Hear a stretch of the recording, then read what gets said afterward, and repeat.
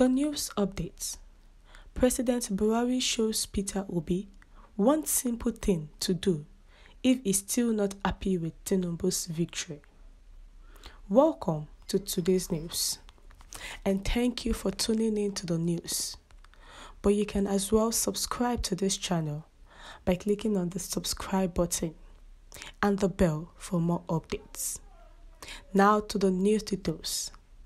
Please listen carefully to the end. The presidential election of Nigeria was conducted on the 25th February 2023 and the result of that election was announced in favor of Bola Ahmed Tinubu of the All Progressives Congress APC.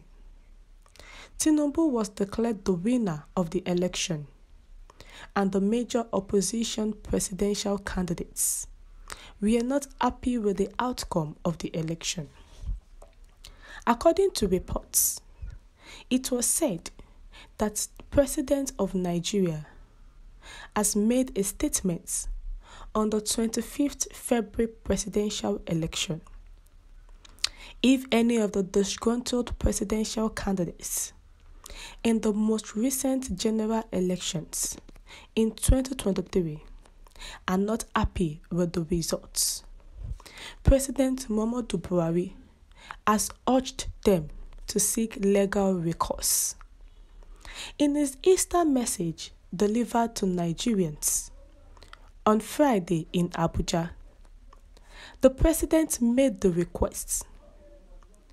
But Buhari thanked those who won the general elections in February and March. As a country, we recently underwent an election that resulted in the election of the new federal and state leaders. I applaud Nigerians for having faith in the procedure. While I applaud those who were elected, I recognize that those who are unhappy with the results have the right to appeal.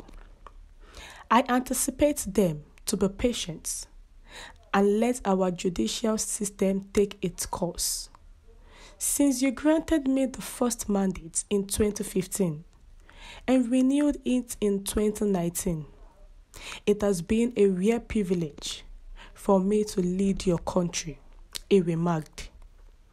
The president reaffirmed his commitment to upholding Nigerians' unity, prosperity, and security. The pledges I made to keep Nigeria secure, prosperous, and united have guided me every day. The backing of Nigerians made it possible for us to achieve achievements in a number of areas, including security, the economy, infrastructure, new oil frontier basins, historic legal reforms, and food sufficiency, among others. Let us do so in love, compassion, kindness, resilience, and forgiveness as we celebrate this season with our families, neighbors, and communities. Buhari statements.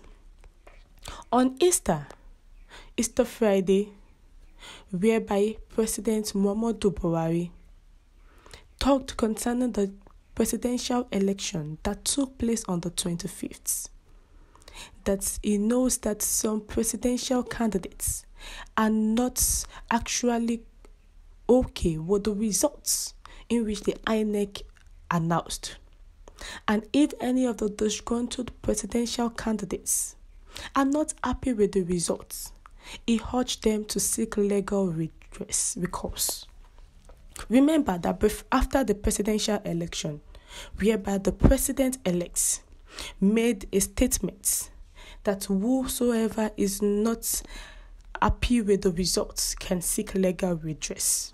And since then, Peter Obi and other presidential candidates has written their petitions to the tribunal. But Buhari thanked everyone who won the elections both in February and March and also was telling Nigerians that we should all be patient. We should let our judiciary do their job, take its course. And he believes that if we can work in unity, if we can work in oneness, the things Nigerians are going to achieve will be achieved. The pledges that Buhari made to make sure that Nigerians are secured, funds are being are coming in, infrastructures are done, economy is boosted, there is food sufficiency.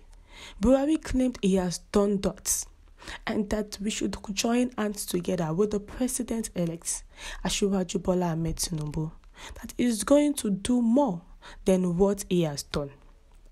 And the mandate that was first granted Buhari in 2015 and was renewed in 2019, it did not take those privileges granted.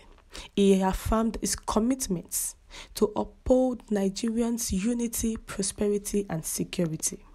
So, concerning the Easter, he admonished Nigerians to walk in love, compassion, kindness, resilience, and forgiveness this Easter and beyond so that everything can work well. We have come to the end of the news.